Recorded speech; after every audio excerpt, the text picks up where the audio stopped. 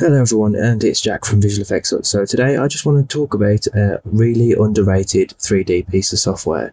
It's free and it's for Microsoft users only I believe. So you can get it from the Microsoft Store and it's called Paint 3D.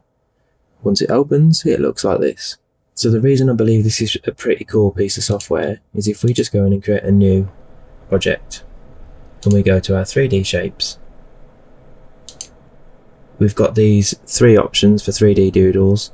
So we can we'll just pick this one for now. And we can draw this little wiggly line. So the reason I think it's quite underrated is because this is great for like creating wires quite fast. So if you needed to create quite a few you can do this and just draw and squiggle them around which is pretty cool. There is a limitation so if you notice there's a little clock as you're drawing, showing you the limit of the length of the line that you can draw, and that's it. Can't go any further than that. But the good thing as well about these is once you've done them, you can manipulate the like spline points, which is amazing. So for fast, really quick um, ideas for so it's useful for quick 3D ideas, um, maybe neon tubing as well, and also anything that's like wires and stuff that's it's really fast ideas. So then we can just jump into the 3D view as well and then manipulate even further. So mo moving them in the z-axis as well. So as you can see like you could quickly create wires and then it's as simple as just saving out a 3D model and you've got GLB and 3MF formats which is pretty cool. Also worth noting, the two formats that this software exports is not compatible with Cinema 4D and potentially not with some of the Autodesk products.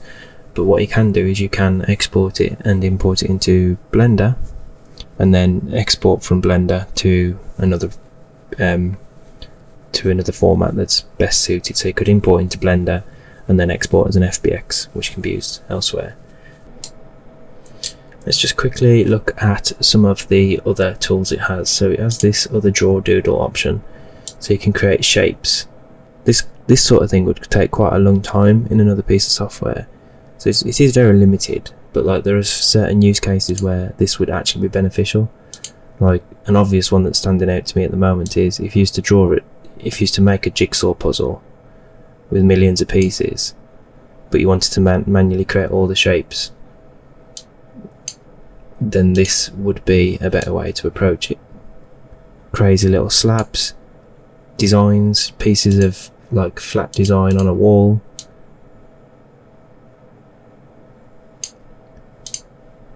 So then if we just jump into the 3D view,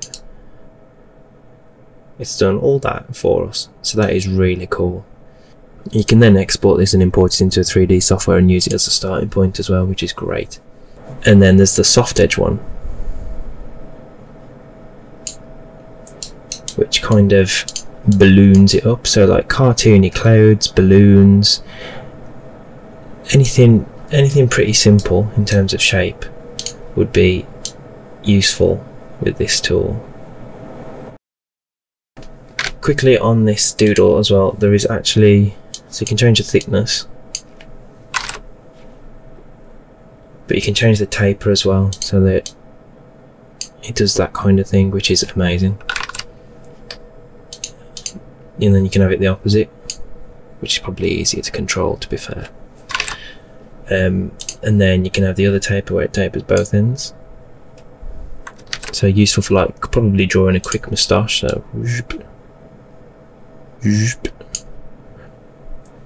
and then because it's that same tool you've got the option to manipulate which is absolutely fantastic and then the last option which is I don't know what that's supposed to be just weird randomness. So hopefully you found this new piece of software useful and I'll catch you on the next video.